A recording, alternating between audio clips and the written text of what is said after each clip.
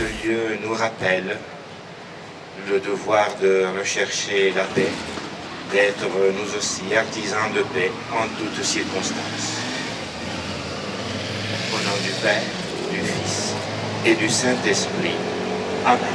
Un patrimoine important, euh, 15e siècle, mais elle a aussi cette histoire rattachée à tous ces soldats euh, qui avaient 16 ans, 17 ans, 18 ans, 20 ans, 23 ans, et qui sont partis euh, ou de leur village ou de Nice dans le 163e régiment d'infanterie et qui avec euh, les militaires américains sont tombés là-bas.